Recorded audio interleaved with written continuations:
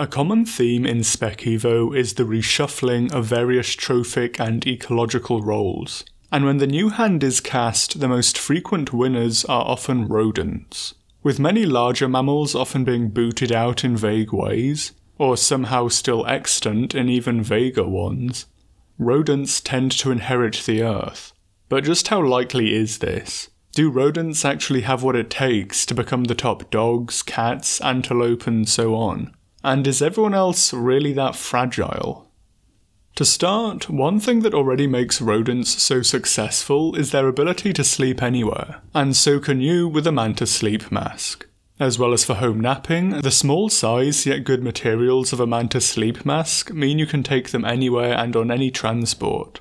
Crush them in your luggage or pocket and they'll just bounce right back, so you can still get a good night's sleep wherever you go, and whatever visual stimuli you need to drown out around you and as a user myself, I can assure you of their comfort and effectiveness. No matter what shape your head or your sleeping style, you're covered with Manta Sleep and their variety of masks, including the standard variety, cool, steam, silk, weighted, and Bluetooth sound, for those who like music or the Natural History channel as they drift off to sleep. So you can follow the link on screen now or in the description and use my code UHC for 10% off so you can finally get a good night's sleep. So, to begin, perhaps the most frequent use of this trope is rodents becoming successful predators, and the grandfather of it being implemented is, of course, Dougal Dixon's After Man, with several species, but perhaps the falanx being the most prevalent of the predator rat group, which are essentially discount carnivorans. But do we need to go so far into a speculative future to find such animals? Do any rodents today possess especially carnivorous attributes? And yes. One, the rakali, is essentially the rodent attempt at an otter. It lives chiefly off other aquatic animals, mainly invertebrates but also fish and birds to varying extents too. It's chiefly found in Australia, where there are no native placental carnivorans or musteloids to steal its thunder, and it took it upon itself to fill that niche. In this regard, the Rakali is already essentially a spec idea working as intended. The carnivoran niche of otter or mink was left open, and a rodent filled it to the letter. It even exceeds mink at swimming too, although other aquatic animals like otters and beavers have a lower cost of transport in the water than the Rakali. Annoyingly, the terrestrial cost of transport for those two was not provided to compare though. So whilst perhaps arguably not quite as specialised as an otter, the Rakali has done its job pretty well. This also isn't uncommon, with the Ichthyomini being a tribe of fish and crab eating rats. These are rare South American rodents that typically prefer high altitude streams, where they can eat small fish and invertebrates, but they will also help themselves to trout fingerlings in fish farms too. So, not quite as successful as the Rakali, but still another example. It shouldn't come as too big a surprise too. Whilst obviously not a rodent, Animals like the large Eurasian water shrew show smaller, non carnivoran competitors, can still have a go at things in similar niches without just getting outcompeted.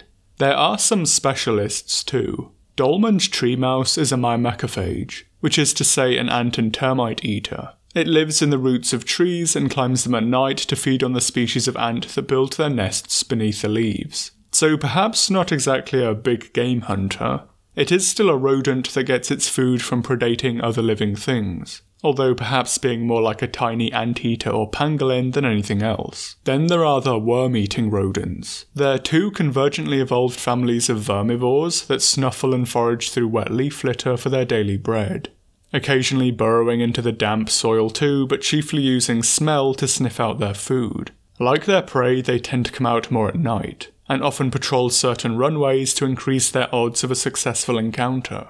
And lastly, we have something more of a generalist, the grasshopper mice. Of the genus Onychomys, they're small predatory rodents that you'll likely know from that screaming mouse video, if anything.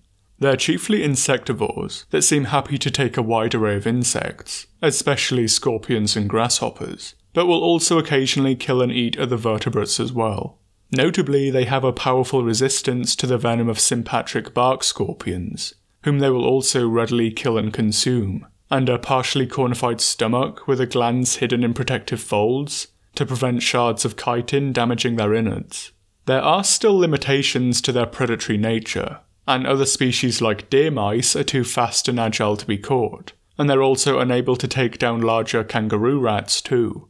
But overall, they're still proficient predators of the southern deserts. Interestingly, too, outside of specialists, other rodents may well dabble in carnivory as well. A study done on three types of rodent, striped field mice, narrow skulled voles, and Campbell's dwarf hamsters, found that predation was actually an evolutionary stable strategy for the rodents, which is to say a fairly good and successful one, with all rodents showing similar success to insectivores like shrews, and hamsters in particular arguably showing aptitude for predation. Studies on lab mice too have found that it's relatively simple to tweak neurons in the amygdala to turn mice into more predatory animals, with one set being to engage predatory pursuit and another to actually deliver killing bites. So no matter which way you choose, it seems rodents can only be a stone's throw away from becoming a lot more predatory. But what about other niches? like being the dominant herbivores, and in this regard we literally have capybara. Not many unusual zingers to cover here. They're pretty well known and are a bit of a mic drop on the topic really. It always surprises me when rodents becoming an ecologically dominant megafauna are played as this zany left field speculation, when capybara really are just right there. They're typically the most common large herbivore in Southern American wetland ecosystems. They're reasonably gregarious grazers and often form the major prey base of large predators like jaguar. So for all intents and purposes, they really are effectively the deer or antelope of neotropical wetlands, like the Pantanal and Ibera. Perhaps to a lesser extent, there are also maras too. Whilst there's not similar information readily available on their abundance in a landscape, they do provide another example of a large rodent with at least some success, and one that's physically reminiscent of something like a deer or antelope. In prehistory, there are even better examples that also line up further with what some would want to tick the speculative boxes. Josephoartigasia was the largest rodent ever, with estimates ranging from a more modest 500 kilograms to the more bison sized 1000 kilograms depending on the study or method. Reconstructions typically paint it as a giant guinea pig, with suggestions of using its tusk-like incisors for a number of versatile purposes. Phoberomys was another giant rodent, with estimates of 150 kilograms, or in some cases considerably higher, also depending on the study or method. And there is also the more famous giant beaver, too, estimated at around 100 kilograms or so. So there are both numerous incidents of rodents reaching both speculative sizes and speculative levels of ecosystem relevance on the herbivore side at least. The cavimorph lineage of rodents also apparently has a trend for gigantism too, with related capybara specimens also getting to around 100 kilograms. The giant rodents dipped out at various stages of the Pleistocene, so aren't so far from the times of today, and were typically believed to have been ended by varying aspects of climate change. So, on both fronts, what's keeping rodents back from fulfilling their speculative dreams? And the short answer is everyone else. The Rakali only got its lucky break due to there being no native musteloids in Australia, and the crab and fish eating rats are far from ubiquitous in South American waterways, as where there are rodents, there are typically musteloids to follow them. Mustelids are both specialised predators of rodents to an extent, but also occupy the same niche rodents trying to become predators would want to occupy that of microvertebrate carnivore. So there's no real room for adaptive radiation here. Indeed, the lengthy body forms of mustelids are believed to be an ancient adaptation to hunt early rodents in their dens, with the more bulky form like badgers also being somewhat rodent specialised, albeit dig them out of their burrows rather than pursue them into it. In short, so long as mustelids are a thing, both the role they take and the predation pressure they put on rodents mean it's unlikely for them to get anywhere fast in this regard. The mega rodents in South America are believed to have come about due to it being cut off from everywhere else. Interestingly, marsupials at least partially took the role of top predators in South American earlier eras too, which likely prevented them becoming top predators as well as herbivorous megafauna. So carnivorans aren't the only one to have beat them to the finishing line in this regard. The related family of lagomorphs too, also show the prevalence of ungulates can block smaller herbivore families from really getting large in size. Even if lagomorphs, like rodents, are still hugely successful on a population scale in modern day.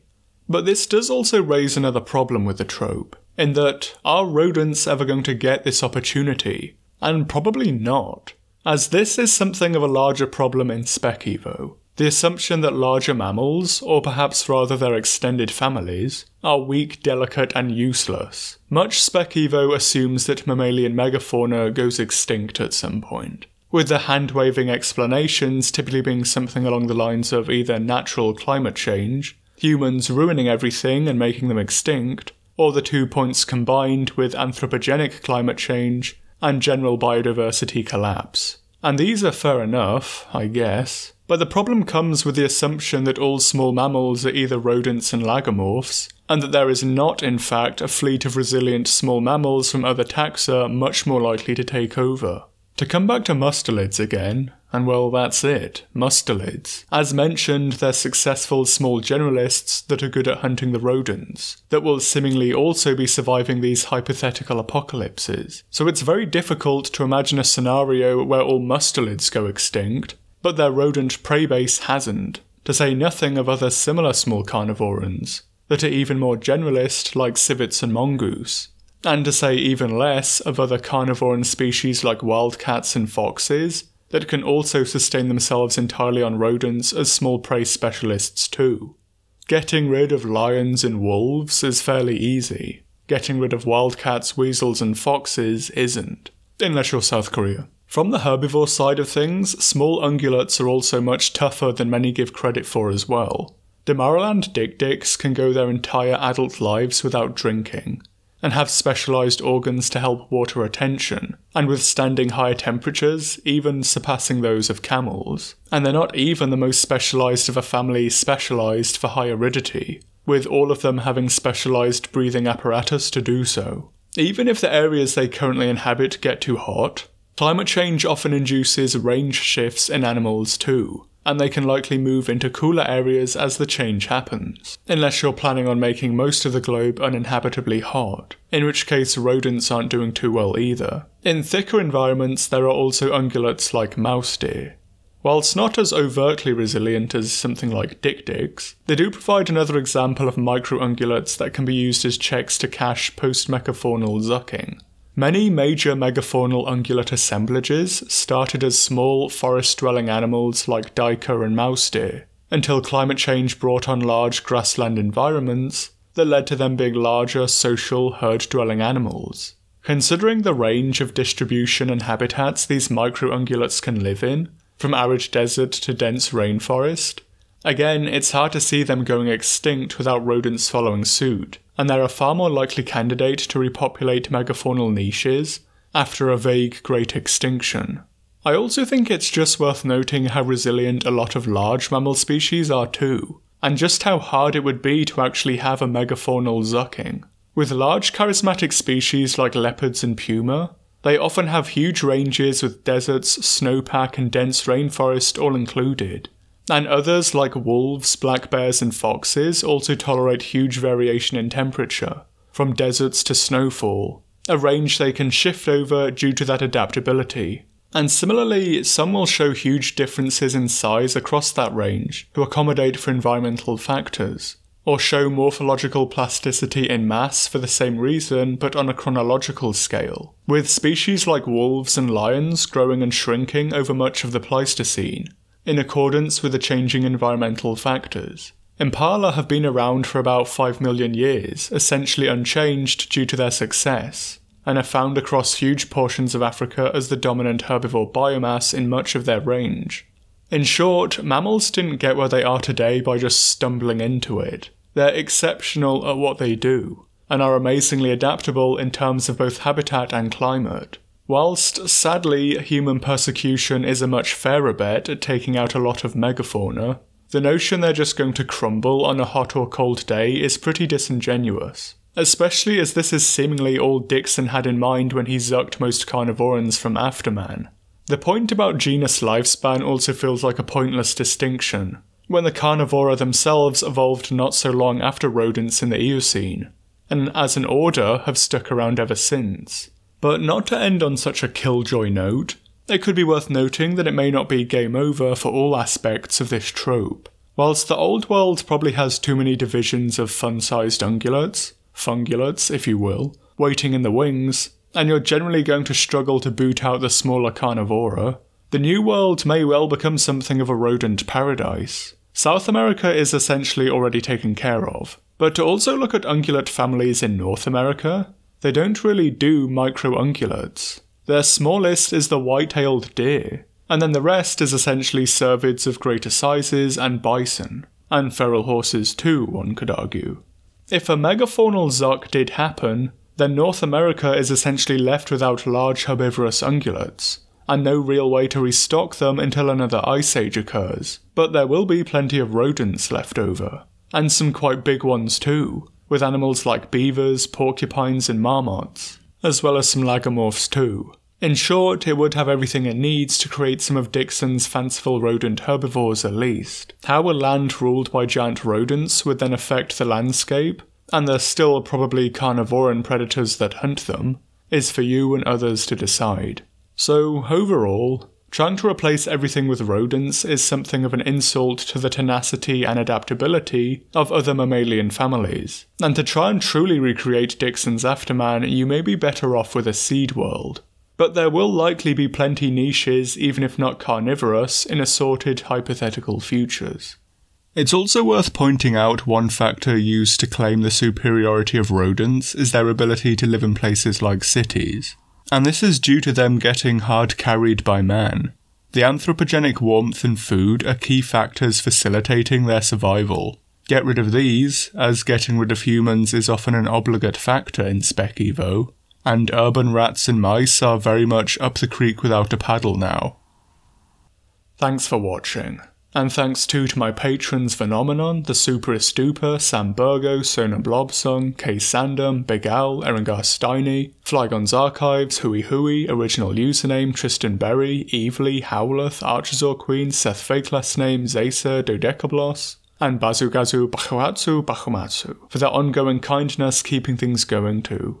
A link is provided in the description for any who'd like to sign up, and any amount is always appreciated. As ever too, likes and shares always help out. Subscribe if you haven't already, and let me know your thoughts in the comments too. Similarly, do comment with ideas for future Evo shorts as well. Or maybe not. The Breath Attacks one was from a comment suggestion and you all hated that one it seems. But if nothing else, the past few videos have been a bit more in line with the length I initially intended for these, as implied by their title, even if the next one will probably be the longest. But a while to wait for it. As I said a few videos ago, I'll be taking January off, but content will resume on the 1st of February, and at least I'm not sodding off to Nebula. Also, as said, there will be a mini series opening things again of six videos, unlike anything else I've done, and unrelated to Monster Hunter or even any type of large reptile or similar creature. Hopefully, you may still enjoy them, or perhaps they'll permanently destroy the channel forever. Who knows? Either way, the devout loyalists who watch my videos regardless of topic, and those who use me as a sleep aid, will be needed more than ever. But after that, more typical content will resume, with more Monster Hunter content that you're used to. Shame we'll have to wait until this time next year until I probably say anything on Wilds, but oh well. And as well as more Monster Hunter, there'll be more on Primeval, more movie monsters, more Spec Evo shorts, and plenty of fringe commentary pieces too. Let's hope it'll be a good one. And until then, I hope everyone here has a happy new year.